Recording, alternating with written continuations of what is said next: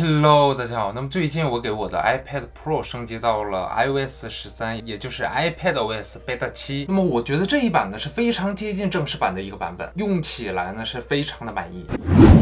我右手边呢是第六代 iPad，这是在去年购买。它呢现在是我的儿子在用，今天简单使用了一下之后呢，但是用过之后感觉。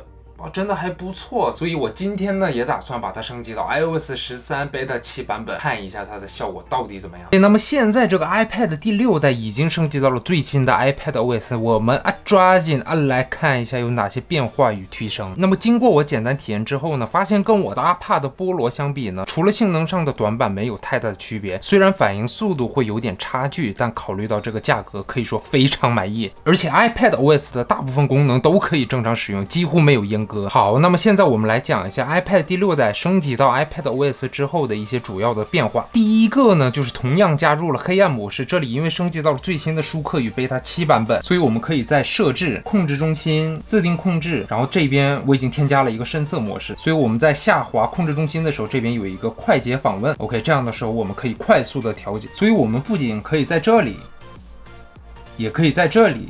快速的切换显示模式。第二个最大的改进就是程序可以多开。很多朋友又问了，这他妈不是早就有的功能吗？早就有的功能吗？早就有的功能吗？各位，我说的是这个升级 iPad OS 之后可以进行这样的操作。那么现在已经打开了一个备忘录，这时候呢，我们要将这边的内容复制到这里面。这时候我们要怎么做？我们再把这个备忘录拖拽到这个旁边，这样的时候我们可以同时打开两个备忘录。然后这时候呢，我们只需要将我们要复制的内容按住，然后拖拽进来就。可以，那图片呢？当然也是可以非常方便的进行拖拽的。所以从 A 文档复制到 B 文档，这个非常的方便。好，我们把一个备忘录拿掉，在这个情况下，我们可以上拉 Dock 栏，点击备忘录，这时候呢可以快速查看所有的窗口，这也是这次 iPad OS 新加入的功能。我们还可以在打开两个程序的情况下，再添加一个浮动的窗口。在这个情况下，我们还可以疯狂的堆叠其他的程序。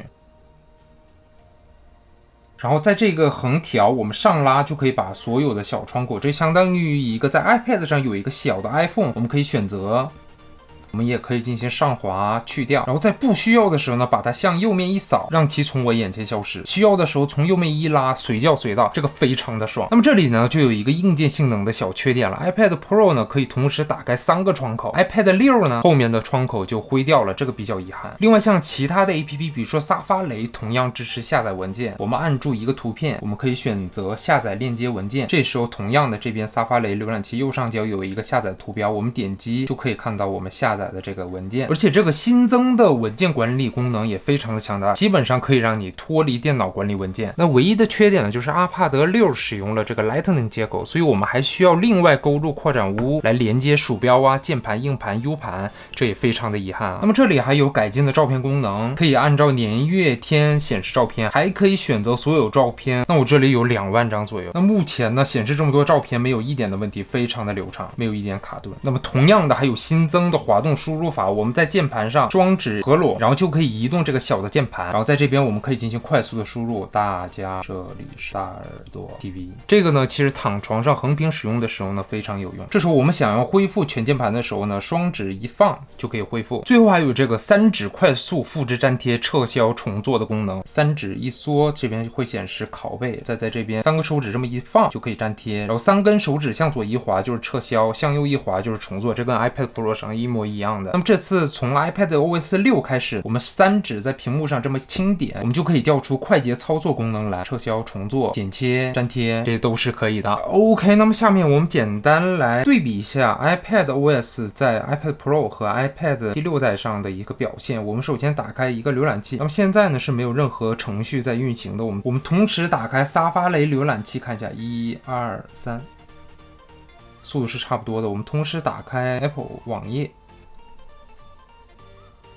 啊，iPad Pro 好像是更快一点。同时打开 Google，基本上是同时。我们同时打开照片应用，啊，差不多。